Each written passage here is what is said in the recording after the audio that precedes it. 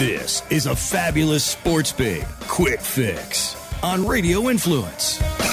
The woman has this alligator whose name is Rambo. She dresses him up in her clothes. He's five feet eight inches, and she takes him to parties, and people are he's holding on to them. I don't want to say anything, but isn't his thing pretty much to rip your hand off? Uh, you know, it's supposed to put your put your head in it because you know they're drunk. I mean, if she's running around and this thing is on her ATV, the motorcycles, and Rambo wears clothes. This is Florida. The fabulous sports babe can be found on iTunes, Stitcher, and RadioInfluence.com.